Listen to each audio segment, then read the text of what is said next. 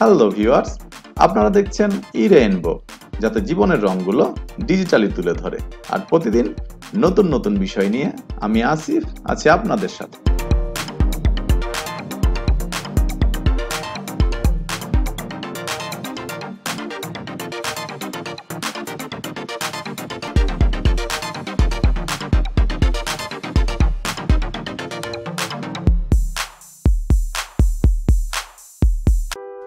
আজ আমাদের আলোচনার বিষয়বস্তু হলো use Windows plus V instead of control plus V অর্থাৎ আমরা সবাই জানি যে আমরা কোনো জিনিস কপি করে পেস্ট করার ক্ষেত্রে সাধারণত কন্ট্রোল ভি প্রেস করে পেস্ট করে থাকি। সেক্ষেত্রে আমরা দেখব কন্ট্রোল প্লাস ভি প্রেস না করে আমরা উইন্ডোজ প্লাস ভি কেন প্রেস করব। বলে রাখা ভালো, আপনি বিগিনার হন বা এক্সপার্ট পুরো ভিডিওটি দেখলে আশা করি আপনিও নতুন কিছু খুঁজে পাবেন এখানে। তো চলুন সময় নষ্ট না করে যাওয়া যাক। আমরা যখন যে কোনো ধরনের ডকুমেন্টে কাজ করি এবং একাধিক ডকুমেন্ট থেকে কিছু কিছু অংশ কপি করে নিয়ে আসার চেষ্টা করি। তখন আমরা যদি উদাহরণস্বরূপ দেখি যে আমরা কোনো একটি ফাইলে গিয়ে সেই ফাইলের একটি অংশ কপি করে আমাদের টার্গেটেড ফাইলে নিয়ে এসে পেস্ট করি। একইভাবে অন্য একটি ডকুমেন্টে গিয়ে সেখান থেকে ফাইল টার্গেটেড ফাইলে নিয়ে এসে পেস্ট করি। এভাবে বেশ কিছু ফাইল থেকে আমরা একইভাবে টপিকস কপি করে আমাদের টার্গেটেড ফাইলে পেস্ট করি। এই কাজটি আমরা বারবার কন্ট্রোল সি দ্বারা কপি করে কন্ট্রোল ভি দ্বারা আমাদের ওই নির্দিষ্ট ফাইলে এসে পেস্ট করে রাখি।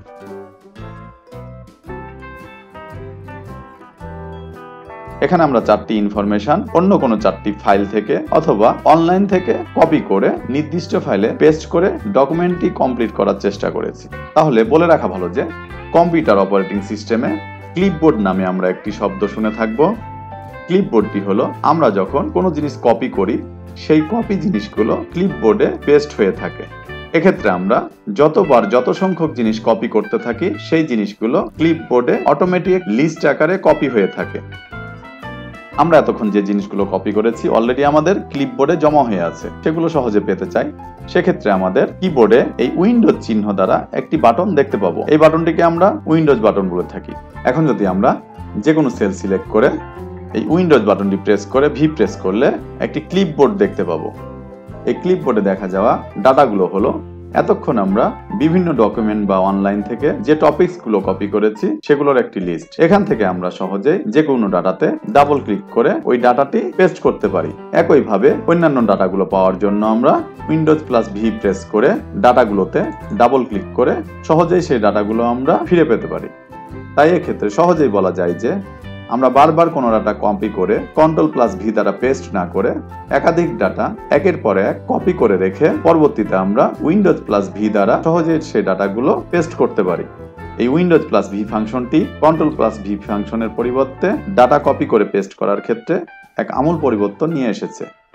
এতক্ষণ আমরা এক্সেল ফাইলের ক্ষেত্রে একাধিক ডাটা ক্লিপবোর্ডে কপি করে কীভাবে উইন্ডোজ প্লাস ভি ফাংশন দ্বারা সহজেই পেস্ট করা যায় সেটা দেখলাম। এই উইন্ডোজ প্লাস ভি ফাংশনটি কন্ট্রোল প্লাস ভি ফাংশনের মতোই যে কোনো ফাইলে কাজের ক্ষেত্রে প্রযোজ্য হয়ে থাকে। আমরা যদি অন্যান্য ফাইলের ক্ষেত্রে খেয়াল করি, তাহলে এমএস ওয়ার্ড ফাইল ওপেন করে উইন্ডোজ প্লাস ভি কিটি প্রেস করলে ক্লিপবোর্ডটি দেখতে পাই। এখান থেকে আমরা সহজেই যে কোনো ডাটাতে ডাবল ক্লিক করে ওয়ার্ডে পেস্ট করতে পারি। এখানে ডাটাগুলো সেল আকারে আসছে, কারণ আমরা যখন ডাটাগুলো কপি করেছি, তখন এক্সেল ফাইলের সেলে থাকা অবস্থায় কপি করেছিলাম। তাই প্রতিটি ডাটা সেল আকারে এখানে পেস্ট হতে দেখা যাচ্ছে। সিমিলারলি আমরা যদি পাওয়ার পয়েন্ট ওপেন করি এবং Windows plus V key press করি, একইভাবে ডাটাগুলো পেস্ট হতে দেখা যায়। এখানেও আমরা সেল আকারে ডাটাগুলো দেখতে পাই, কারণ আমরা লাস্টবার যখন ডাটাগুলো কপি করেছি, তখন এক্সেল ফাইল থেকে কপি করেছিলাম। এক্ষেত্রে আমরা আরও একটা জিনিস লক্ষ্য করলে দেখতে পাবো যে, আমরা এক্সেল ফাইলে সেলগুলো যে কালারে থাকা অবস্থায় কপি করেছি, এখানে ডাটাগুলো সেই কালার সেল সহ পেস্ট হয়েছে।